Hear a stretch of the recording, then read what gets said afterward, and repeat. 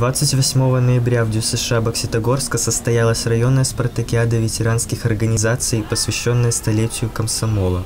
Турнире приняли участие 12 команд, которые были разделены на две подгруппы – городские и сельские поселения. На торжественном открытии выступил хор ветеранов, а студенты специальности «Физическая культура» колледжа Бокситогорского филиала ЛГУ имени Пушкина провели для команд участниц спартакиады и всех болельщиков зарядку и танцевальный флешмоб. В программу соревнований традиционно вошли представления команд, эстафеты, баскетбол, дартс и боулинг. Борьба за призовые места была нелегкая, но победители все же определены. Первое место среди команд городских поселений занял Русаловский отряд.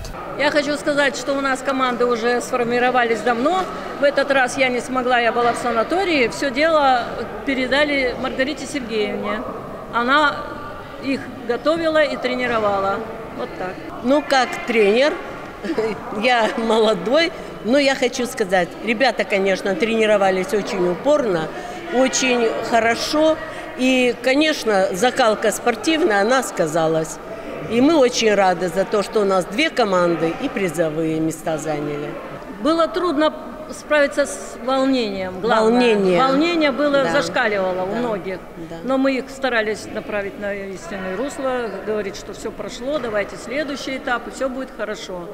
Но бывало, Только что надо было справиться со своим волнением. Нервы. Потому Нервы что вот натренированы они были Да. замечательно. На тренировках они показывали прекрасные результаты. И, конечно, я немножко расстроилась, когда они вот бросали не очень точно мяч Баскетбол. Вот, в баскетбол и дартс. Потому что на тренировках это было и выглядело все по-другому.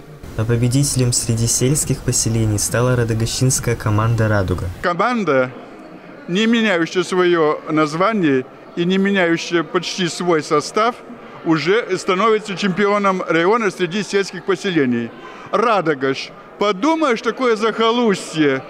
Там самое большое поселение по площади, самое маленькое по населению.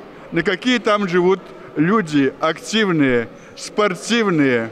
Они успевают и спортом заниматься. Они успевают и петь в фольклорном ансамбле. Вообще все понравилось, конечно. Единственное, э, что нам трудно давалось, так как у нас кольца нет, э, тренироваться негде было. Но мы наверстали здесь. Мы приехали пораньше и свое дело сделали.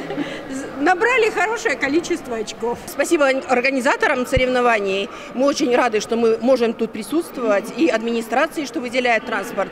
Команда у нас очень дружная, целеустремленная. Женщины все спортивные. Мы надеемся на дальнейшие успехи. Участников команд призеров наградили грамотами, медалями и призами. Также командам вручены памятные подарки от депутата Государственной Думы Сергея Петрова.